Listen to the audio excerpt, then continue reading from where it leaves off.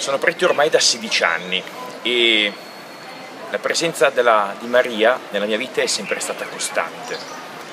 Perché? Innanzitutto la mia vocazione appartiene proprio all'età dell'adolescenza eh, e nel mio paese eh, c'è proprio questo riferimento grande della comunità cristiana a Maria e mi ha insegnato proprio ad affidarmi, a domandare, a fare in modo che il mio cuore venisse eh, continuamente educato a questa domanda tant'è che molto spesso popolarmente la Madonna viene invocata.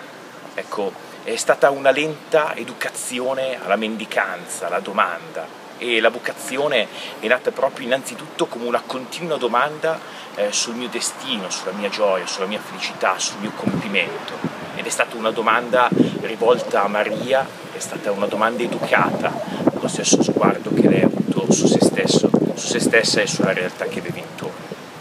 e poi anche successivamente sono sempre stato aiutato perché nei tanti luoghi in cui il vescovo mi ha mandato, quindi mi ha rinnovato la vocazione, eh, ha rinnovato quella coscienza della vita come vocazione, ho sempre trovato comunità cristiane e amici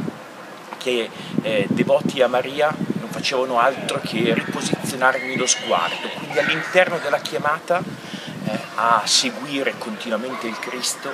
Eh, alcuni amici mi hanno sempre accompagnato a,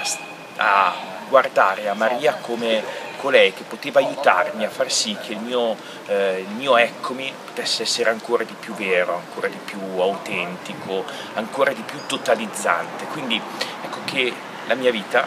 ecco, nella mia vita è sempre stata